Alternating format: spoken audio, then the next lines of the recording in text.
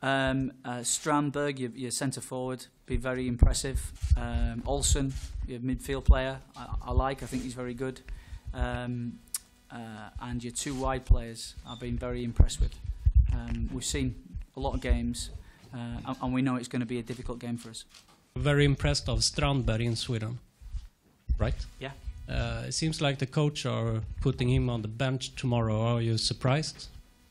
Um, yeah, very surprised. Yeah. So uh, you, you're not from the Swedish FA, are you? No. Okay.